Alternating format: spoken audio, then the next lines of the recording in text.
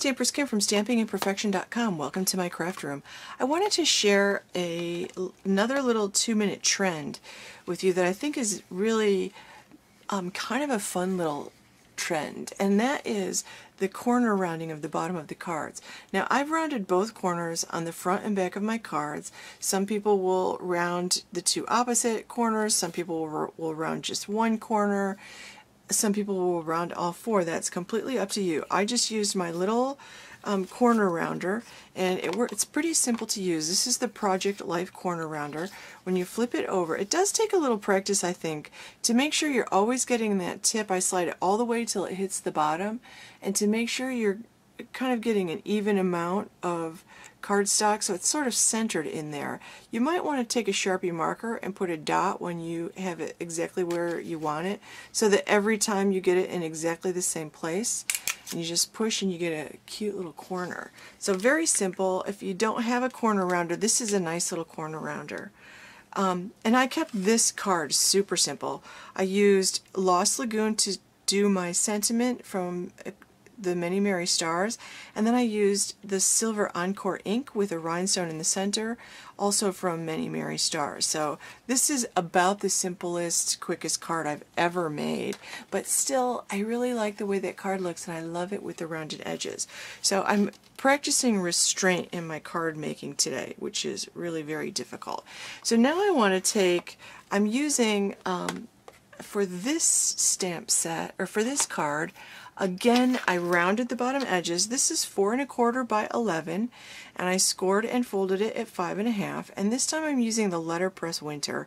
I love this. I'm going to use this large, this is much larger than it looks on the front. I'm going to use this big scroll. It's almost like a snowflake. It, and it almost could, you know, you could use this all year long because it doesn't really have to be like wintry, although it feels wintry. And I'm going to use the Season's Greetings, and I'm going to use the Lost Lagoon. And I'm just going to just layer one on top of the other. So I'm going to first stamp the larger of my two images in Soft Sky. It's a really nice light blue. Sometimes it's, it's so hard to actually even see it feel like I don't have this inked up at all. It's so light. And hopefully I'm centering it in the card. I like it a little toward the top. I'm not sure I got this on straight. Not bad. Then I'm going to take a slightly darker blue. This is Lost Lagoon. These are Stampin' Up! ink pads along with the Season's Greeting. This one it's nice and easy to see because it's a darker color. I don't know if you can see this, but when you ink it up, um, when it's inked well, you can actually, it looks like there are bubbles there, and I ink them by kind of patting them, even on the new ink pads. I'm going to try to center this, and I'm going to put this down, and what I like about it is that you see the ink kind of suck into the paper, and be careful not to rock your, your um, clear block, just like always, but there's another very simple card. I could add some rhinestones. What I probably will will add is some ribbon because we have some beautiful Lost Lagoon taffeta ribbon.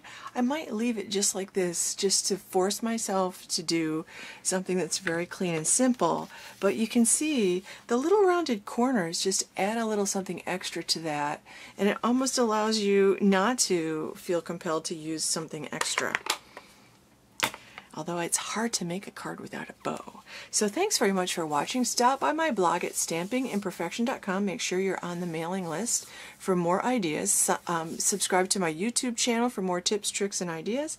And please like this video below and share with your friends. Thanks very much for watching.